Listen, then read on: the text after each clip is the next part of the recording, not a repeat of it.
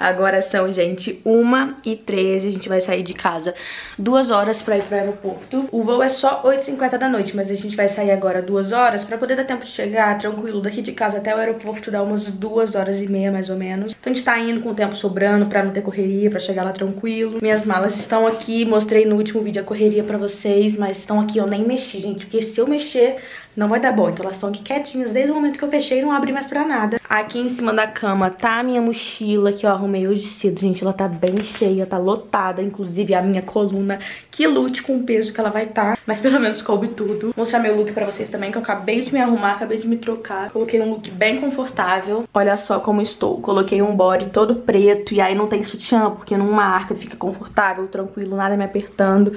Calça preta larguinha também, ó, folgadinha e tênis. E aí eu tô levando um casaco na verdade, eu ia levar um casaco só. Porém, um bem volumoso meu que tá ali, não coube na mala, então vou ter que levar ele também. Então, chegando no aeroporto, eu já vou colocar um e eu fico carregando o outro e fica de boa. Por enquanto, eu não vou colocar não, porque senão eu vou sentir calor. Mas aí depois eu coloco e fica de boa no aeroporto, com ar-condicionado, fica tranquilo. No aeroporto, com certeza, vou tirar uma foto do Aerolook com as minhas malinhas. Gente, vocês acreditam que assim, eu sou muito, mas muito, muito, muito ansiosa, nível assim, absurdo. Quando eu tinha passeio de escola, esse tipo de coisa assim, eu era aquelas que não dormiam a noite anterior, que o passeio era meio-dia, 8 horas da manhã, eu tava com a minha roupa pronta, com a minha mochila pronta, toda pronta, só esperando da hora. Eu sou assim, ansiosa nesse nível. E vocês acreditam que ontem minha família, eu fui despedir da minha família, né? Eles perguntaram, Alice, como é que você tá, você tá ansiosa? Como é que tá o coração? E eu falei, gente, vocês acreditam que eu não tô ansiosa, que eu tô tranquila, que eu não tô nem entendendo. Ontem também eu fiquei o dia inteiro com muita dor na, na boca por conta da afta, tá doendo muito ainda, só que menos que ontem. E eu falei, gente, eu acho que é porque eu fiquei o dia inteiro sentindo dor, sei lá, não tô muito ansiosa ainda, não sei, não tô entendendo também. Porque na minha cabeça, quando chegasse, assim, esses últimos diazinhos pra viagem, eu ia ficar muito, muito, muito ansiosa, igual eu costumo ficar.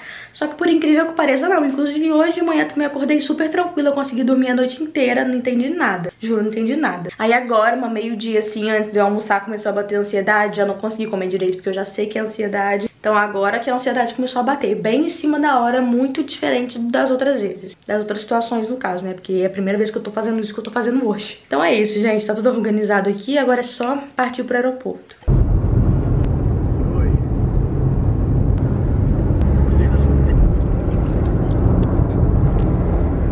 Já chegamos no aeroporto, são 4 e 12, a gente veio mais rápido do que eu imaginava.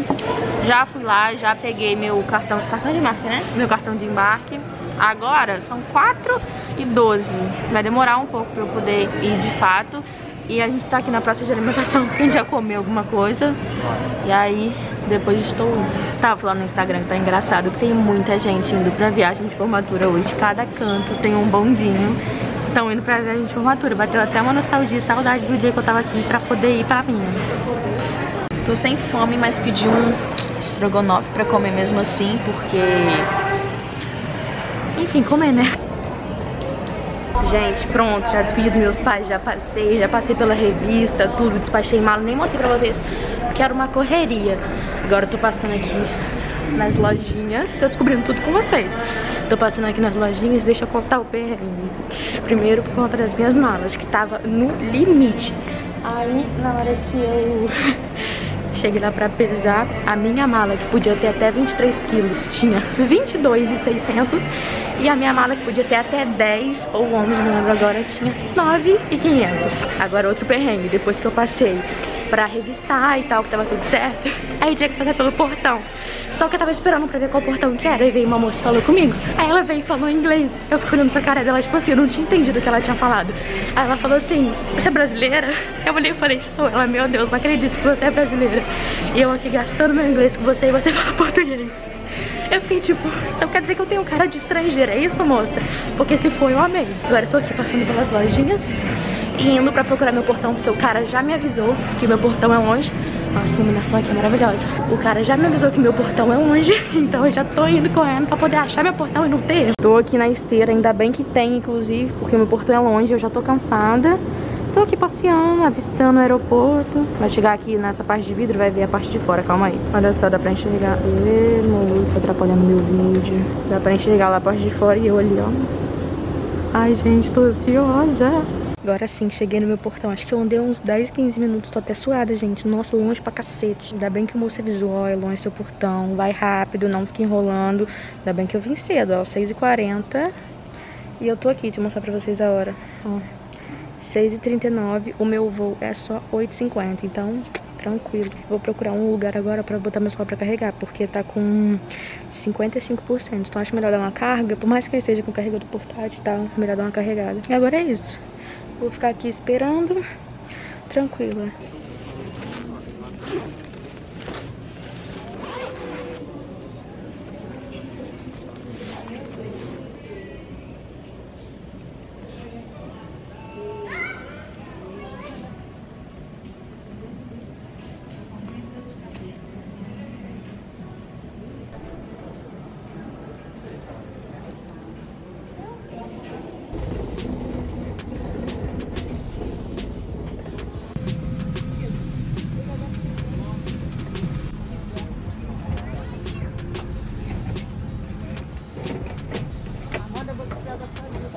Vim aqui no banheiro o voo, gente, na traseira, pra sair 8h50, já são assim umas 9h30, 9h40, porque um cara passou mal. Eu só descobri isso agora, tava entendendo nada. O cara passou mal, desceu do avião, pelo que eu entendi, a gente vai esperar uns 15 minutos. Vai dar assim uma hora de atraso, que era pra ter saído. Vou tentar mostrar o banheiro pra vocês, calma que eu vou virar a. Ó o banheiro bem bonitinho, tá cheirosinho no banheiro também. E bem pequenininho também, ó. E eu tava apertada lá segurando, entendendo nada que o voo não saía, mas vi fazendo xixi.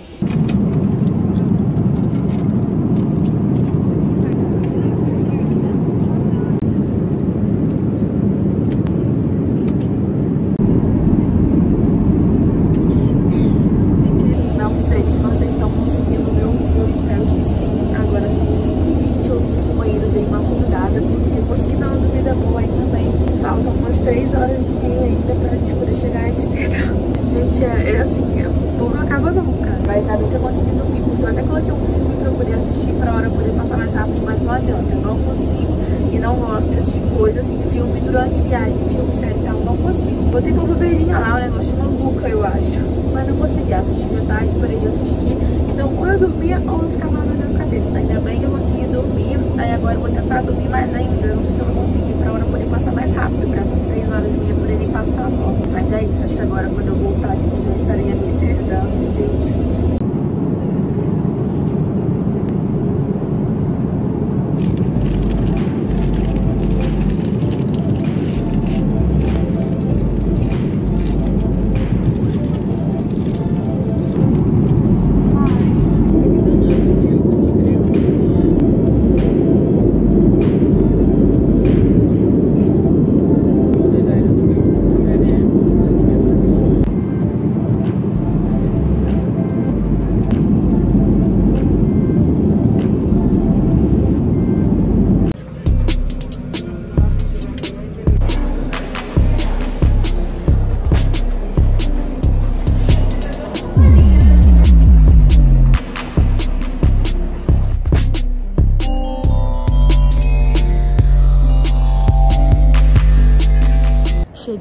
Cheguei.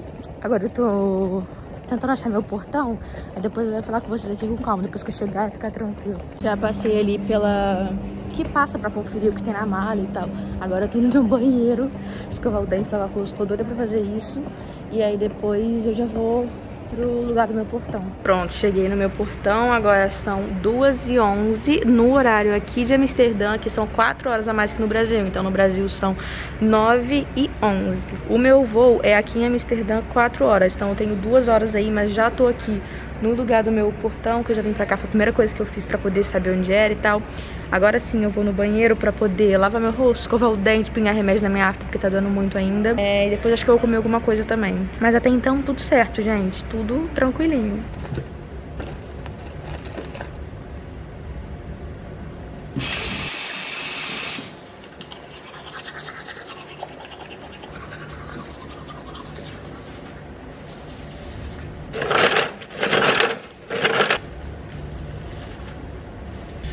Agora, a missão vai ser espirrar. Espirrar não, colocar esse remédio aqui na minha afta, gente. Eu não vou conseguir fazer isso sozinha. Lá em casa, quem tava fazendo era meu irmão, minha mãe. Agora, eu sozinha, a probabilidade de dar errado é muito grande. Vou ali perto do espelho pra ver se eu consigo enxergar. Espelhão, tem aqui. Ai, ai. Calma aí, gente, que eu vou tentar aqui, tá? Corre aqui. Consegui, gente, consegui. Nossa, esse remédio é muito ruim. Uh. Agora acho que eu vou é comer alguma coisa. E depois já ficar lá no portão mesmo, porque não falta muito tempo pra começar. Já são 2h34, deve ser umas 3h30 que começa o embarque. Então tem uma horinha aí ainda. Acabou que eu desisti de comer porque eu fui andando, fiquei com medo de andar muito, muito, muito, ia ficar muito longe. E também porque eu achei muito confuso, eu acabei desistindo de comer mesmo, porque eu não tava com muita fome, sabe? Eu ia comer só por comer. Agora já são 3h14 e eu tô aqui esperando que no voo é 4 horas. Daqui a pouco deve começar o embarque. Então tô aqui esperando. Bus is about to leave. De bus gaat vertrekken.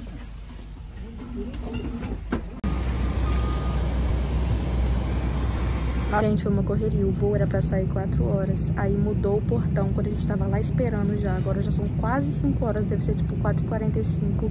A gente teve que pegar um ônibusinho pra poder vir até o avião. Primeira vez, inclusive, que eu pego o avião assim, que tem que, que não entra naquela, no túnelzinho, já sai dentro do avião, que tem que andar assim na pista e tal. Agora tô aqui esperando, o voo é de 1 hora e 40, então até que é rapidinho. Por enquanto não tem ninguém do meu lado, tô esperando a pessoa chegar aqui. E tá frio, viu? Eu falei que dentro do aeroporto não tava frio, mas ali fora tá um gelo, meu amigo. E demais, tá 4 graus, tava marcando 4 graus aqui, então tá bem gelado. O avião tá com a luz rosinha, ó que bonitinho que tá. E eu não tô na janela, é outra pessoa, mas no caso não tem outra pessoa por enquanto. Eu tô com fome também, porque eu não comi lá no aeroporto. E agora eu tô sentindo fome, o voo atrasou. A merda. Mas tá tudo certo, tá dando tudo certo até agora. E é isso que importa.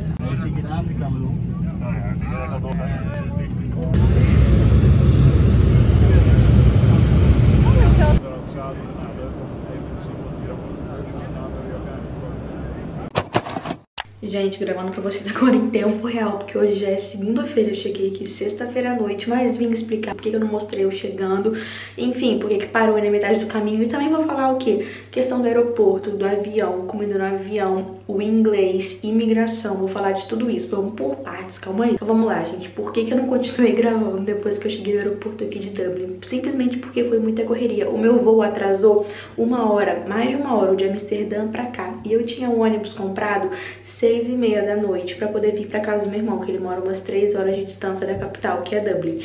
Então, eu cheguei no aeroporto seis horas e aí eu fiquei na correria porque eu tinha meia hora para passar pela imigração, para pegar minhas malas e para chegar no ponto de ônibus. Então, eu não consegui gravar nada. Aí cheguei e fui correndo para imigração. Vamos contar como é que foi a imigração. Gente, como eu falei, eu não falo inglês fluente, então tipo assim, eu treinei o que eu ia falar com eles, mas eu falei, OK, eu tenho uma carta aqui, porque se eu não conseguisse conversar com eles, eu tinha uma carta explicando quem era eu, o que eu tava vindo fazer no país, falando que eu ia vir ficar na casa do meu irmão, que minha passagem de volta estava comprada, que eu sou estudante no Brasil, tudo isso. Caso eu não conseguisse falar. E como, gente, eu tinha assim 5, 10 minutos no máximo para passar ali pela imigração por causa do meu tempo, Falei, cara, não vou nem arriscar de falar, já vou chegar dando a carta, mostrando o teste de Covid e tudo, pra não ter erro, pra não me atrasar mais ainda. Aí cheguei, foi a primeira coisa que eu fiz. Aí como é que foi? Cheguei, comecei a ler, era um cara. Só que, gente, o cara, tipo assim, eu comecei a ler a carta pra ele, eu tava no celular, ia começar a ler inglês, explicando tudo isso. Só que quando eu comecei a ler, ele já veio me fazendo uma outra pergunta que eu não tava entendendo o que ele tava fazendo. Só que na terceira vez que ele perguntou, eu entendi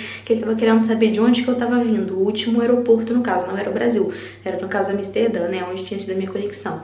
Aí na hora que eu falei Amsterdã, eu já fui entregando assim, porque ele meio que tava me perguntando e não deixava eu ler o negócio. Aí eu fui e botei o celular na frente dele pra ele poder ler e poder entender tudo. Aí ele leu a carta, ele entendeu, aí ele perguntou por que que eu tava vindo pra Irlanda, eu falei, porque meu irmão mora aqui. Aí ele pediu pra eu, tipo assim, comprovar que meu irmão realmente morava aqui. E eu tinha a conta de luz que comprovava a residência e tal. Dei lá uns papéis que comprovavam que meu irmão realmente morava aqui.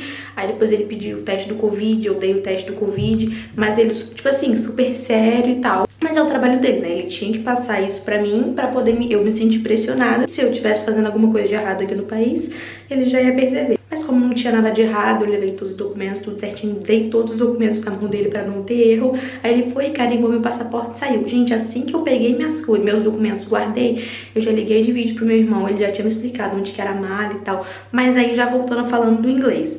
Nos aeroportos eu consegui entender facilmente, assim, olhando as placas pra achar os meus portões. Quando eu cheguei aqui em Dublin foi muita correria. Eu tava em ligação de vídeo com meu irmão e mesmo assim eu consegui me situar, eu consegui achar a mala. É... Então, assim, a questão do inglês pra mim no aeroporto foi muito de boa, porque era tudo muito sinalizado. Mas a questão de conversar com as pessoas de conseguir me comunicar, de comprar alguma coisa, isso foi muito difícil e isso me deu uma agonia, porque às vezes eu queria conversar, às vezes eu queria tirar uma dúvida, igual quando eu cheguei no aeroporto de Dublin, eu fui perguntar aonde era a imigração. Eu perguntei onde era a imigração, aí a mulher foi e me respondeu com outra pergunta. Essa pergunta eu já não entendi o que era, ou seja, não adiantou nada eu entender, eu saber a pergunta, sendo que quando ela me fez outra pergunta eu não entendi, então não consegui a minha resposta, entendeu? Mas aí tinha uma pessoa do meu lado, uma brasileira que eu encontrei, ela falou que a moça perguntou de onde eu tava vindo. Aí eu falei do Brasil, ela foi e levou a gente pra fila da imigração de quem tava vindo do Brasil. Então assim, a questão da comunicação em si é muito difícil, faz muita falta, mas pra mim no aeroporto foi super de boa, consegui chegar tranquilo na imigração foi tranquilo também, porque eu trouxe os documentos e trouxe a carta. Então, se você tá vindo pra fora do Brasil e você não fala inglês, traz uma carta falando, olha, meu nome é Liz, no meu caso, né? Eu faço isso e isso, eu vim pra cá por isso. Eu não falo inglês muito bem, por isso que eu tô escrevendo a carta, pra, porque comigo foi assim e deu tudo certo. Aí consegui pegar minha mala, gente, assim, ó, voando. Eu tinha, quando eu saí, eu tinha cinco minutos pra chegar no ponto de ônibus. Eu dei muita sorte que o ônibus, assim, atrasou dois minutos e foi o tempo perfeito. Aí consegui entrar no ônibus. Não gravei no ônibus pra vocês, por quê? Porque era muito escuro, não não dava pra enxergar. Eu cheguei até ligar a câmera pra é, gravar pra vocês, mas era muito escuro, não dava pra enxergar nada. E eu cheguei aqui extremamente, extremamente cansada na sexta-feira à noite, fui direto dormir. Tomar um banho, comer e dormir, era tudo que eu queria. E aí no sábado e ontem no domingo foi super correria, ontem foi meu aniversário e eu gravei tudo lá pro Instagram. Não tive tempo nem de começar a editar esse vídeo, nem de gravar esse final pra vocês. Por isso que é importante vocês me seguirem no Instagram também, porque lá eu tô em tempo real falando com vocês e aí não tem erro. Aí questão da imigração foi isso, questão do inglês também falei é, no avião, gente. O avião, eu já tinha andado de avião, só não tinha feito viagem internacional, né? Viagem tão longa assim. Eu dei graças a Deus que a minha coluna não doeu, porque eu tenho escoliose, gente. Tipo, minha coluna doeu assim, ó, facilmente. Então, graças a Deus, ela não doeu, ela colaborou comigo. Mas é aquela coisa, gente. O avião, você fica sentado na mesma posição, é igual você ficar num carro, só que você não fica mexendo, né? Você fica parado ali, você pode levantar só pra ir no banheiro, depois você senta. Então, você fica sentado ali por horas, é, com a bunda quadrada, doendo, eu já não tava aguentando mais. Mas, assim, de resto foi isso. Tirando a parte que eu tenho que ficar sentada e é cansativo e tal, foi super tranquilo o avião. E acho que é isso, falei do avião. Ah, comida do avião, gente. Super gostosinha, tranquilo, não passei fome, comi direitinho, café da manhã é muito bom e tudo perfeito. E acho que foi isso, gente. Acho que falei tudo pra vocês. Vou acabar agora de editar esse vídeo, já liberar ele no canal hoje, segunda-feira. Então se inscrevam no canal, me sigam no Instagram, me acompanhem em todas as redes sociais, que é arroba em todas, no TikTok também, porque eu vou estar on em todas as redes. Espero que vocês tenham gostado de acompanhar isso. Agora eu tenho mais dois meses e meio pra ficar aqui, então vai ter muito conteúdo. Se vocês tiverem alguma dúvida, deixem nos comentários que eu vou responder. E se eu esqueci de falar alguma coisa, pode colocar aí que eu respondo também, tá bom? Um beijo, tchau!